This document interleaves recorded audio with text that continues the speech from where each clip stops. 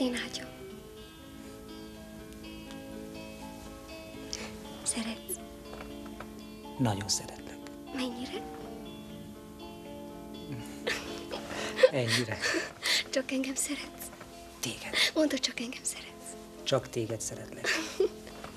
Nem érzed? Most igen. Mondd, Kányó. Miért vagy te kenguru? Most nem vagyok. Hülyeség. Csak kitaláltam.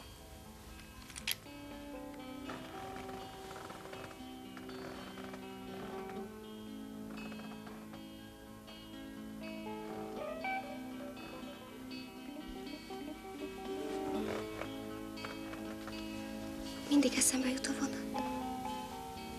Milyen vonat? Tavaly, amikor először voltunk együtt, emlékszel? Körvasú töltés alatt. Igen, és jött a vonat. Jött és megállt. Éppen akkor, amikor Igen, és ettől izgalmas lett az egész. izgalmas lett. Fel akartál ugrani? De te nem engedted. És ezért lett olyan izgalmas. Sorsó. Az lett. Nem csak, hogy először történt velem, de mindjárt bele is buktam, megszégyenültem. Néztek bennünket az ablakból. De éppen akkor olyan különös volt az egész, hogy nem is bántam már. Csak azt éreztem, hogy szeretlek, és ez a legfontosabb. Nem is néztek. De néztek. Láttam, egy nő kihajolt az ablakból, aztán kiáltott valamit. Erre nem emlékszem. Érthető. De biztos, hogy kihajolt. És az a vonat Véletlen volt. lehet. Csak azóta is, hogyha hozzám érsz, mindig megjelenik előttem a kivilágított vonat. Valahogy úgy érzem, mint mint a megvernének.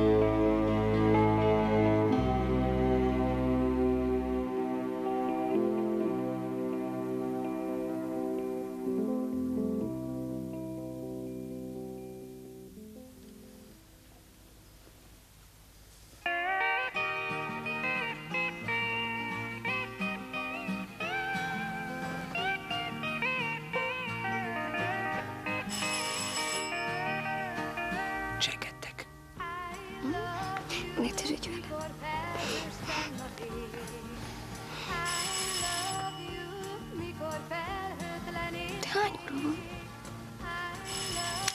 Fél tíz. Kinek? Megyek már! Megyek! Csak nem az anyád. Az ilyenkor? De hát te azt mondtad, hogy...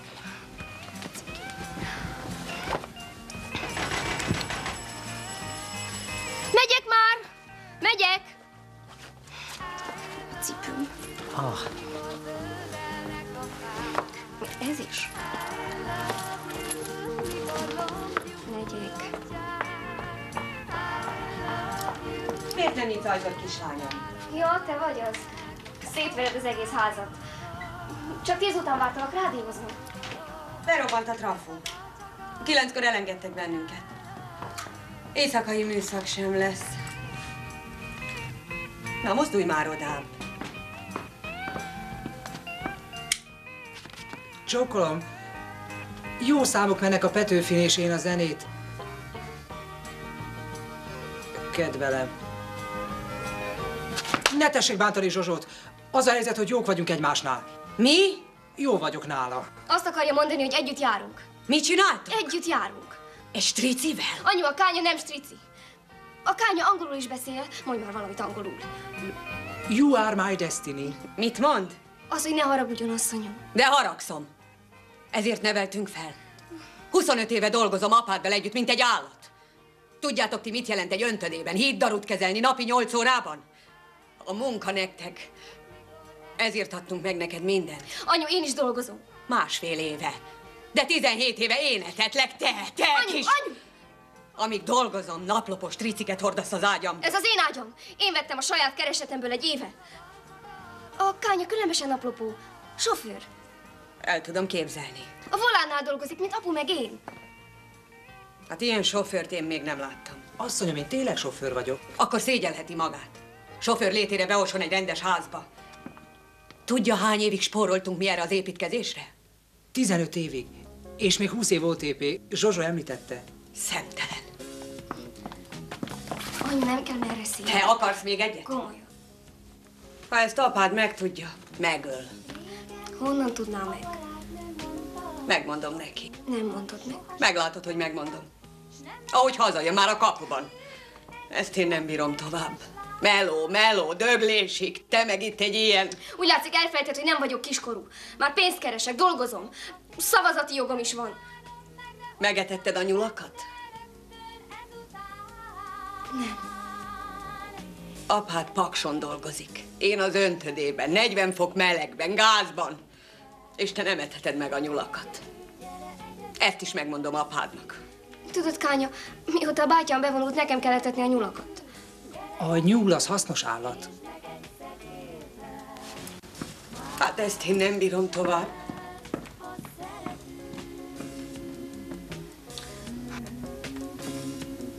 Most mi van? Semmi. Nyugodtan hazamehetsz. Megmondja apádnak. Nem mondja meg.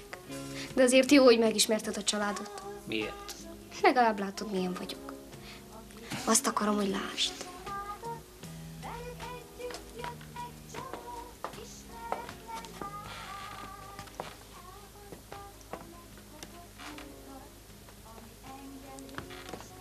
Csókolom.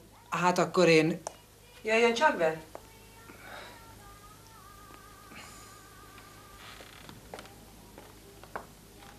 Mondja maga, tényleg sofőr? Hát persze. Mi más lennék? Én mindig is sofőr voltam. Jó ez a kis pálinka. Ugye? Jó. Házi. A papa főzi. Két kiló gyümölcs, két rész víz, egy rész cukor. Jó módszer. Nem éhes? Nem akar egy kis tojás rántottát tenni? Nem akar. Köszönnek szépen a vendéglátást. Nagyon jó pálinka. Köszönöm szépen. Csókolom.